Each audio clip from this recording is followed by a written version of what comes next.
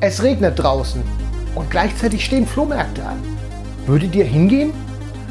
Ja, die Frage haben wir uns heute Morgen auch gestellt und sind doch losgefahren. Was wir gefunden haben, das zeige ich euch gleich.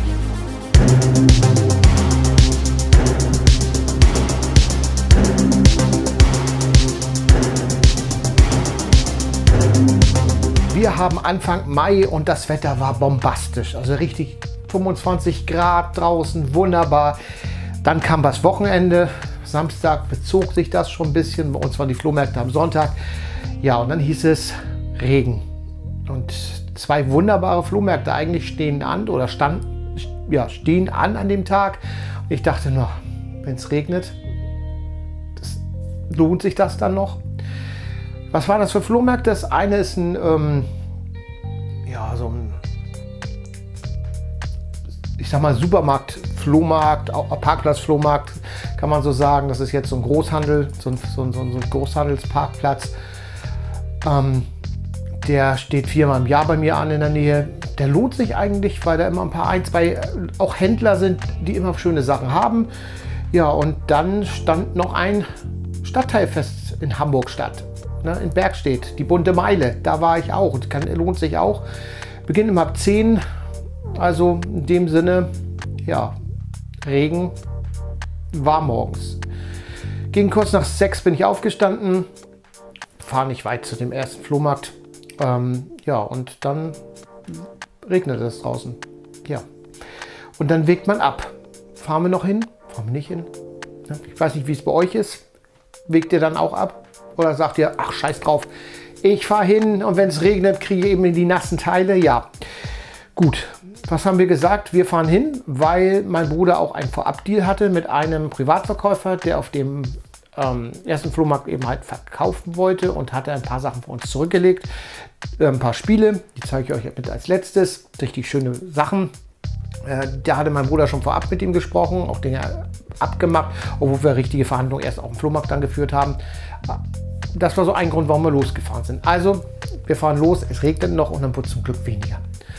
Ja, und als wir dann auf dem Flohmarkt ankamen, das, die Hälfte ist überdacht, da war natürlich mehr aufgebaut, beim anderen legte sich das so langsam, wurde, aufge, wurde ja dann aufgebaut erst. Haben wir natürlich auch die ersten Games-Leichen gesehen.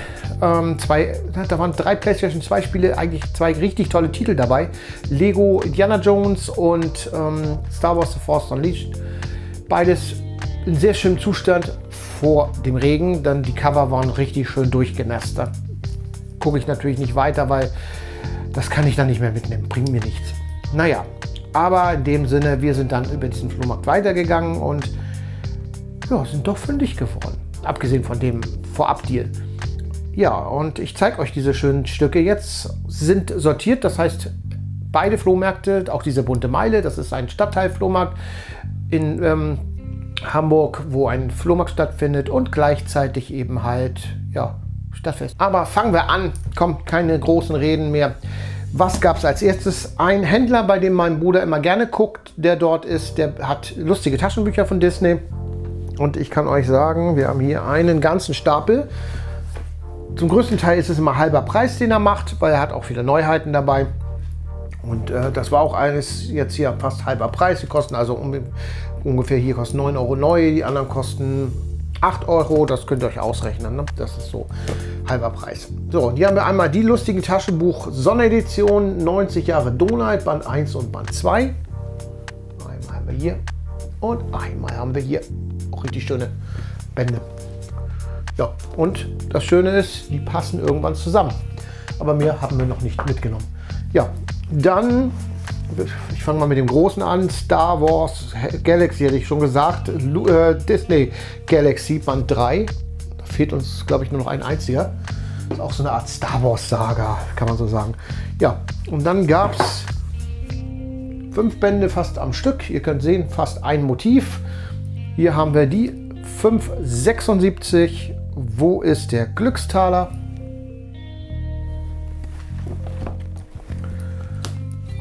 Band 577, das Spukhaus. Ja, dann dann habe ich hier der Goldene Turm, Band 582. Dazwischen hatte mein Bruder auch schon einige. Also uns fehlt jetzt, ah, das ist das aktuellste sogar hier gleich. Dann die Nautilus kehrt zurück, Band 583. Und momentan ist draußen Band 584, die Schildkröteninsel. Ja, das ist das aktuelle, auch so schön mit so einem Holo-Cover oder so ein, wir schon Hochglanzcover. Ja, und das nächste kommt jetzt demnächst raus. Das heißt, eigentlich sind wir komplett ein Band dazwischen. In den 574, glaube ich, fehlte mein Bruder noch. Das hatten wir da nicht gefunden. Ja, ein einziger und der aktuelle, äh, der aktuelle fehlt. Ein paar Sonderbände, die dann erscheinen. Ja, warum nicht? Ähm, nimmt man gerne mit. Genau. Dann gab es noch zwei Bände und da greife ich jetzt schon mal ein bisschen, das ist auch schon Halbtoys. Und zwar zwei Lego ja, Rätselspaß-Bücher. Und zwar hier Lego Jurassic Park mit Ellie Settler Figur. So sieht die groß aus. Und das ähnliches eben halt Rätselspaß mit Ian Malcolm. Lego Jurassic Park. Auch richtig schön. Ja, die gab es auch zu 3 Euro das Stück. Genau. So, weiter geht's. Ich habe auch ein Buch noch gefunden. Ein drei Fragezeichen und das Phantom aus dem Meer. Gab es für 2 Euro.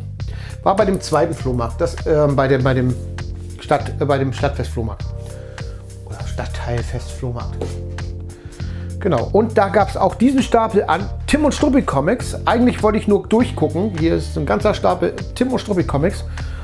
Sind auch nicht im perfekten Zustand. Also, sind, also haben wohl lange auf dem Dachboden gelegen.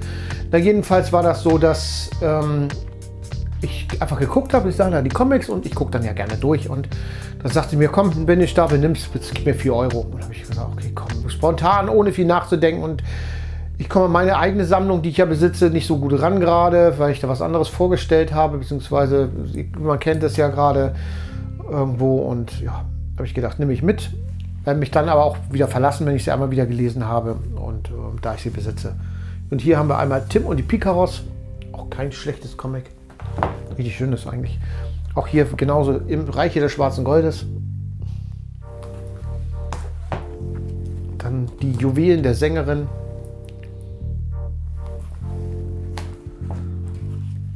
Der Arumbaya-Fetisch. Auch ein wirklich schönes Abenteuer. Also eine richtig schöne Geschichte. Mit, wo Tim eben halt hinter diesem Fetisch hinterherjagt. Ich liebe diese Timo Struppi Comics. Ich verbinde da auch viel Kindheit mit. Teilweise, als ich krank war, hat früher meine Mutter dann uns oder mir einen Comic geschenkt. Das war damals wirklich noch was Besonderes. Da haben wir Tim und Struppi Kohle an Bord. Ihr seht eine ganze Menge. Das sind, das war schon das fünfte. Das ist der, der ist am schlechtesten im Zustand. Tim in Tibet eine meiner Lieblingsgeschichten. Aber ihr seht, der Zustand ist ganz schlecht. Aber vielleicht lässt sich aus den einzelnen Sachen eine Collage basteln oder so. Für mehr taugt das eigentlich nicht. Eigentlich sehr schade. Das ist die fünfte Auflage von 1975. Wahnsinn. Also im Endeffekt ist das jetzt Comic Nummer 6. Auch hier ein großartiger Flug 714 nach Sydney.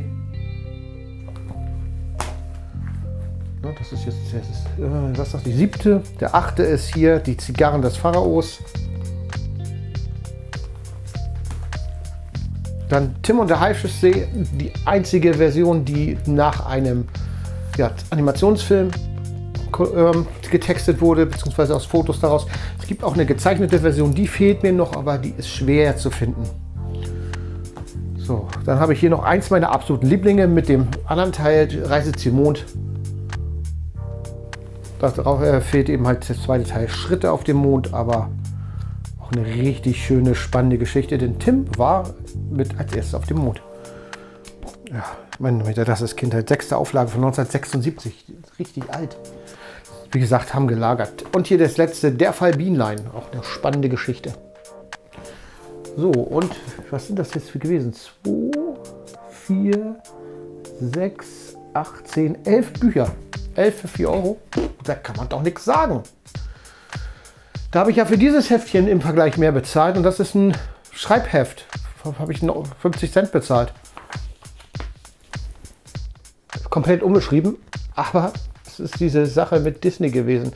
Hat mich an die Kindheit erinnert. Ist jetzt auch schon ein paar Jährchen alt. Ich weiß gar nicht, ob da ein Datum überhaupt drin steht. Auf jeden Fall ist das so alt, das sind noch fünfstellige, äh, vierstellige Postleitzahlen. Ja, das ist alt. Mit Löschblatt drin. Ja, richtig alt. Richtig cool. Sieht man nicht alle Tage. Das ist wirklich Kindheit. Ja, kann man aber auch jederzeit wieder benutzen. Gut, das zeige ich euch etwas später, die zwei Hefte noch. Die gehören zu einem anderen Teil. Ja, im Endeffekt, das waren so die Comics und so. Und ähm, ich habe natürlich noch so ein paar andere Sachen gefunden. Ähm, ich versuche das mal ein bisschen anders zu zeigen. Und zwar gab es auch noch ein paar Hörspielkassetten, die ich gefunden habe. Die zwei habe ich für 50 Cent das Stück, eins für 1 Euro gekauft. Ähm, und zwar einmal hier so ein doppeltes Hörspielzeit von Benjamin Blümchen. Ja, Benjamin Blümchen. Der Gorilla ist weg und wird verhext. Eine Doppelfolge, die sind schon seltener. Das sind so die, die mich dann immer reizen. Ähm, hier haben wir Kasper, das Original Hörspiel zum Film. Und ja, musste mitgenommen werden. Ich versuche jetzt mal das Cover rauszunehmen, weil hier ist noch so ein Sticker drauf die Kreischsägen von Smarties, Sticker Nummer 6. Das waren auch noch so Nostalgie-Sachen. Aber die schönsten Kinderlieder mit Tick, Trick und Track. Allein eben halt wegen Tick, Trick und Track. Und das ist schon ganz witzig. Und diese Kassette ist von 1900. Mit einem Datum. Mit grünem Punkt. Gucke gerade. Ja, hier ist eine fünfstellige Postleitzahl. Ne, muss aber so maximal 2000er sein. Ja, findet man auch seltener und die habe ich so noch nie gesehen und ja, dachte, nehme ich mir mit. Ja, auch wenn die jetzt so komisch aussieht durch den Sticker, aber wie gesagt, 50 Cent, da kann man nicht so viel verkehrt machen. Genau. Dann habe ich noch ein Spiel, ein Brettspiel gefunden, äh, Sealed von den drei Fragezeichen, das Haus der Rätsel. Ich habe das mir mal selbst gekauft, da habe ich, was kostet das neu? Steht hier, glaube ich, nicht, aber so um die 15 Euro kostet es neu und ich habe jetzt ähm, 3 Euro bezahlt. 3 Euro habe ich bezahlt für Sealed. Und das bleibt natürlich so Sealed in meiner Sammlung. Ja, richtig schön. Ist auch kein schlechtes in diese Exit-Games, aber wenn man das einmal spielt, muss man was zerschneiden und ja, das ist natürlich ein bisschen schade. Und auf dem anderen Flohmarkt habe ich schon zu Herr der Ringe eins gefunden. Das muss ich, fällt mir gerade eins, habe ich vergessen zu kontrollieren, ob es vollständig ist, muss ich noch machen. Ja, aber auf jeden Fall gab es so von den drei Fragezeichen nicht nur ein Buch, sondern auch ein kleines Spielchen. Ja, weiter geht es mit, wo wir bei Hörspielen waren, fällt mir ein, ich habe noch zwei Hörbücher mitgenommen, aber die habe ich jetzt nicht auf den äh, Flohmärkten, sondern als wir zu meinen Eltern gefahren sind, weil wir da was abgegeben haben, mein Bruder nicht, ähm, lag eine Kiste zu verschenken da draußen am Straßenrand und da habe ich zwei Hörbücher mitgenommen. Die Hüllen sind jetzt nicht im besten Zustand, CDs aber vollständig. Und zwar einmal zu Warrior Cats und die Legende der Wächter, auch so ein Film, was oder was auch schon verfilmt wurde, der Roman. Ja, wie gesagt, für umsonst habe ich das gerne mitgenommen. Ja, dann habe ich mitgenommen für 2 Euro ein Kartenspiel. Ich habe das schon, aber das ist in so gutem Zustand, da konnte ich nicht widerstehen. Ein Quartett von Sindbad von 1978. Richtig cool. Gefällt mir richtig gut. Jetzt habe ich das zwar doppelt, aber davon kann man nicht genug haben. Muss ich aber noch kontrollieren. Ich weiß gar nicht, ob es vollständig ist, aber es sieht sehr gut aus. Der Zustand ist top. So, dann etwas gefunden, das werde ich aber auch nicht behalten. Es geht an einen Freund, der Warhammer 40k Fan ist. Und zwar Demons of Thorn Skulltaker. Auch sealed, so eine Sonderfigur. Ja, ich weiß gar nicht, was wir dafür bezahlt haben ist schon, wird schon super gut gehandelt. Also es ist erstaunlich, was es so gibt. Und dazu gab es als Bonus so einen falschen Lego-Bausatz. Das ist, glaube ich, so ein, ein kleines Baufahrzeug, aber es ist kein echtes Lego. Also das ist eine Kopie, deswegen wird uns das so auch verlassen. Das werden wir nicht gar nicht erst bauen. Aber das wollte ich euch trotzdem zeigen. Ja, so, dann gab es noch zwei auf dem ähm, Stadtteilfest Flohmarkt. Ein paar Kulti, äh, äh, kuriose Sachen. Und zwar habe ich diese Haarspange mitgenommen. Äh, ja, Haarspange kann ich gut gebrauchen, aber nein, das ist von Alf. Äh, Gab es für 50 Cent und äh, ja, habe ich so noch nie gesehen. Scheint auch was Offizielles zu sein. Selbst gebaut sieht das nicht aus. Ja, aber sowas von Alf sieht man selten. Das nehme ich ganz, ganz gerne damit. Ja, und dann gab es an einem Stand, wo auch eine ganze Menge Actionfiguren lagen. Ähm, da habe ich ein bisschen gewühlt und da habe ich, oder was heißt gewühlt, da waren ein paar Figuren, die lagen da einfach. Und das erste, was mich angestarrt hat eigentlich, war dieser komische Blick von dieser Figur. Ja, das ist ein Gamorrean Guard von Star Wars. Ich dachte nur, hm, siehst du nicht alle Tage. Und irgendwie dachte ich, hm, ist das nicht Vintage? Guckte drauf, 1983. Ja, das ist eine Original-Vintage-Figur, Suche Ritter von 1983. Ja. Und dann habe ich noch zwei weitere Figuren da entdeckt am Stand.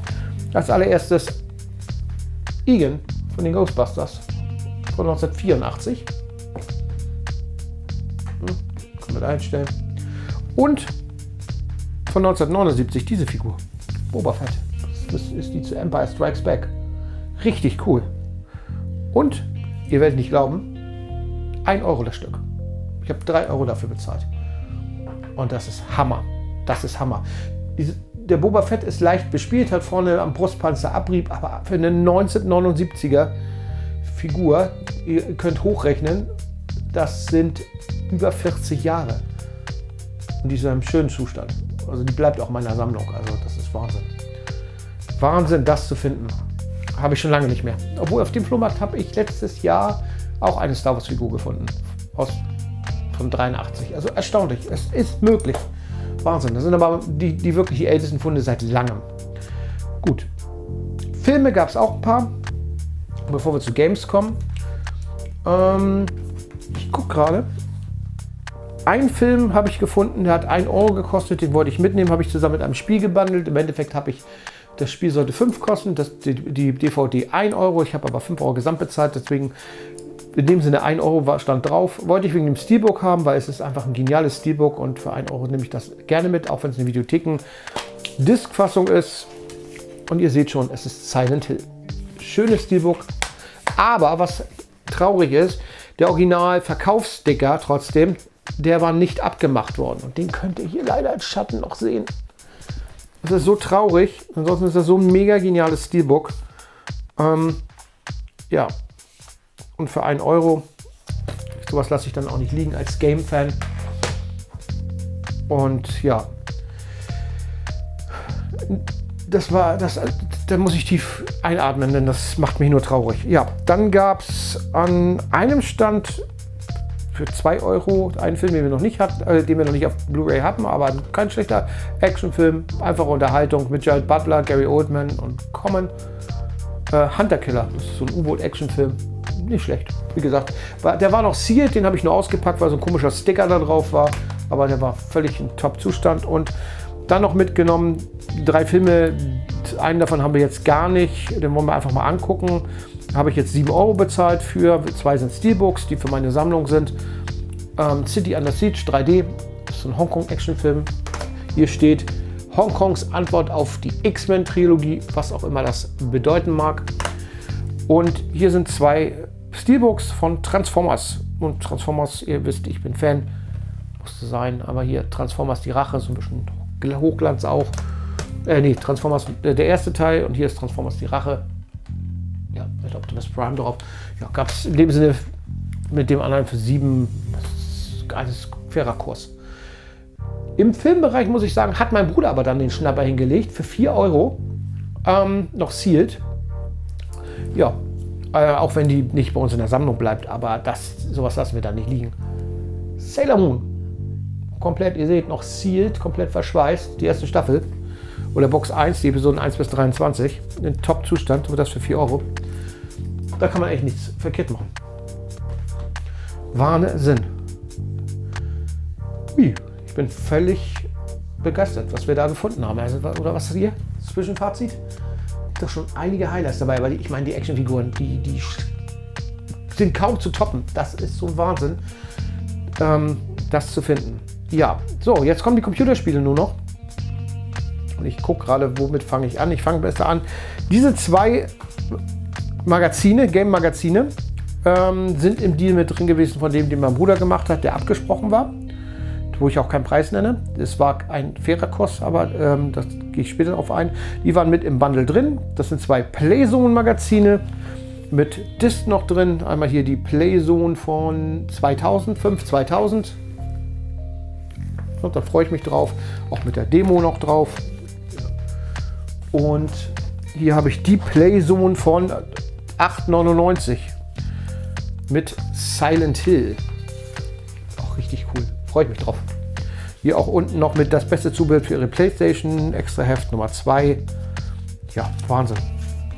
Wie gesagt, sowas findet man auch nicht alle Tage und die sind vollständig, auch wenn die Discs oben locker sind. Die werde ich dann irgendwie anders packen, weil es ist, ist zur Sicherheit. Ja, so und jetzt kommen die Spiele, die wir gefunden haben. Ähm, die zwei DS, das bei DS? 3DS-Spiele. Die, die beiden 3DS-Spiele gab es für je 8 Euro. Doch, je 8 Euro. Ja, 16 Euro hat mein Bruder bezahlt. Ähm, auf dem ersten Flohmarkt. Und das ist einmal Lego Star Wars Erwachen der Macht. Und New Super Mario Bros. 2. Wird wieder voll hier, der ganze Tisch. So, bevor wir zu den Highlights dann kommen, mache ich erstmal mit der anderen Konsole weiter. Ähm, das Spiel war beim ja, Stadtteilfest Flohmarkt und zwar, nee, Korrigierung, war auch auf dem Flohmarkt. Ich gucke gerade die Spiele und die, ja genau, okay, das war, was ich jetzt zeige für die Wii und zwar Worms Battle Island oder Battle Islands gab es für 4 Euro und das war auch auf dem ähm, ja, ersten Flohmarkt. Dann diese fünf Xbox 360 Spiele ähm, gab es für 5 Euro. Ich wollte eigentlich nur eins mitnehmen und sagte, ja, Mann, nimm mir doch alle ab. Und ich habe gedacht, okay, komm zum Tauschen, nehme ich dann für 1 Euro das Stück. Also ich wollte erst 8 haben und ich sagte, komm, für 5 würde ich sie mitnehmen. Habe ich dann gesagt, nehme ich mit. Ähm, ich muss noch mal, noch mal gucken, weil hier ist bei 1, 2 nicht das Handbuch dabei. Und zwar habe ich einmal hier ohne Handbuch Halo 4. Das ist vollständig, aber ist die US-Version Left 4 Dead 2. Dann äh, hier ist das Handbuch drin gewesen. Ne? Ja, genau. Call of Duty Black Ops. Die Piggy-Version, wohlgemerkt. Ja, ja, wird ihr sehen. Piggy. Und äh, hier fehlt das Handbuch. Genau, Battlefield 3. Ich weiß nicht, ob da eins bei ist, aber auch die Piggy-Version. Und äh, ja, hier ist auch kein Handbuch, aber das ist sogar die äh, skandinavische Ausgabe. Denn hier sind äh, Dänisch, Schwedisch, Norwegisch und Finnisch drauf. Das ist richtig schön, ihr könnt es hier sehen. Die Auflage mit diesen drei, vier Sprachen. Ja, für einen Euro habe ich es einfach mitgenommen. Hat man auch nicht alle Tage. Wie gesagt, war ein Bundle. Im Bundle haben wir auch diese Spiele mitgenommen. Zusammen noch mit, mit, mit, mit äh, PlayStation 4 Spielen. Und zwar diese PlayStation 3 Spiele. Ähm, hier habe ich einmal auch wie vollständig und in Top-Zustand. Ähm, abgesehen, dass ich hier Sticker drauf hatte, die ähm, kaum abgehen. Das eine, das äh, hier haben wir zum Beispiel Dead Space 1, richtig schöner Titel. War aber von GameStop und das hasse ich. Hier unten auf dem Cover, zum Glück nur da unten, sind Sticker angebracht worden. Das, und die lassen sich nicht ablösen, ohne Cover kaputt zu machen. Ähm, die gab es äh, für je 2 Euro das Stück. Ähm, genau. Und im Bundle mit den PlayStation 4 Spielen, also wir haben sieben Stück insgesamt auf, abgenommen, haben wir 15 Euro bezahlt. Das heißt im Endeffekt etwas, ja, für die zwei PlayStation 4 Spiele 2,50 Euro das Stück. Also hier haben wir Resistance Fall of Man, PlayStation 3. Ähm, hier habe ich die Piggy-Version von Killzone 3. Hier habe ich Fallout 3. Und auch ein Top-Zustand Lost Planet 2 von Capcom. Auch ein cooles Spiel. Ziemlich unterschätzt. Genau. So, weiter geht's. Ähm, und zwar diese beiden PlayStation 4 Spiele, die waren noch in dem Bundle mit drin. Und zwar einmal Wolfenstein 2, The New Colossus. und Dragon Age Inquisi äh, Inquisition. Ja, da kann man für den Kurs echt nichts sagen. Das ist, und dieses Spiel habe ich mitgenommen in, äh, mit dem Silent Hill Film für einen Fünfer. Resident Evil 7 in der zweiten Auflage, wo PlayStation VR kompatibel steht. Ja, und dann hat mein Bruder hier, oh, jetzt muss ich raten, was er bezahlt hat. Er hat, glaube ich, 4 oder 5 Euro das Stück bezahlt. Einmal Lost Spear von Square Enix und High Frisst Mensch, High Frisst Mensch, Man Eater, Day One Edition. Ja, Wahnsinn. So, was sagt ihr? Das ist doch schon eine ganz schöne Ausbeute. Ja, im Endeffekt, das waren unsere Flohmarktfunde. Ähm, das war eine Überraschung, weil, wie gesagt, dass der das noch gefunden hatte von dem, wo wir den Deal haben. Den Spiele-Deal, die zeige ich euch jetzt, die Spiele. Haben wir in dem Sinne mitgebracht vom Flohmarkt, aber es waren vorab Absprachen, also keine Flohmarktfunde. Ja, und es sind alles PlayStation 1 Spiele in Top-Zustand. Vollständig und wirklich sehr schönem Zustand. Hier haben wir Nightmare Creatures. Top, absolut top. Ich mache die auch gar nicht so auf, weil sie sind wirklich im Mega-Zustand. Ähm, gut, hier ist die Hülle ein bisschen abgenutzt, aber das war es auch. Doom, die Piggy-Version. Das ist die eine, eine Platinum-Version, aber auch nicht schlimm. Trotzdem sehr toller Zustand. GTA.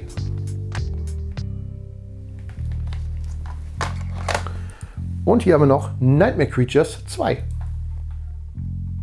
Wie gesagt, top. Absolut top. Auch ein absolutes Mega-Game, unterschätzt und kann ich euch nur ins Herz legen. Auch ein Klassiker, leider noch nicht geremaked, aber müsste, glaube ich, als DLC, äh, nicht als DLC, als Download über die aktuellen Konsolen auch noch verfügbar sein bei den PlayStation Stores und zwar Parasite Eve 2. Richtig schönes ähm, Spiel von Square, Squares. Eine Ewigkeit später.